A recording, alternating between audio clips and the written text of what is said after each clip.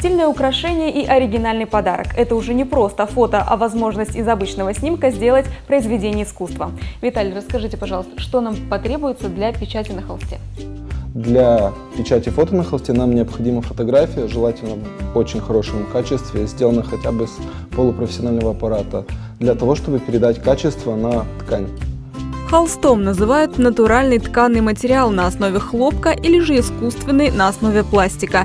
Фотография на нем выполняется краской высокого качества, что позволяет точно передать оригинальные цвета фотографии. Но об этом позже. Сначала снимок попадает в руки художника.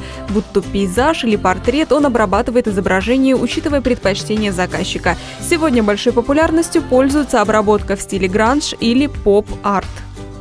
Вы для нас уже что-то подготовили? Да, Покажите, пожалуйста, что это такое.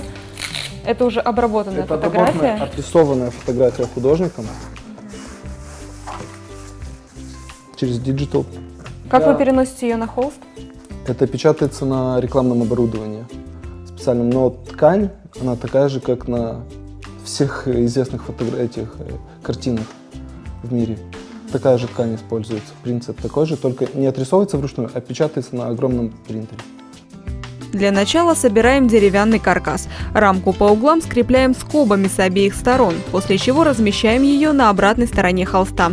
При заказе такой картины учитывайте, что несколько сантиметров изображения уйдут на сгиб. Такой способ натяжки позволяет обойтись без фактурной рамки, при этом картина сохраняет свой эстетический вид.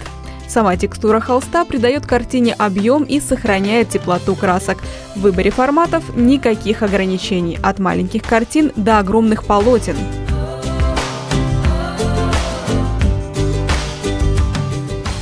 Вот такая картина, фотография или уже даже, наверное, произведение искусства получилось у нас с Виталием.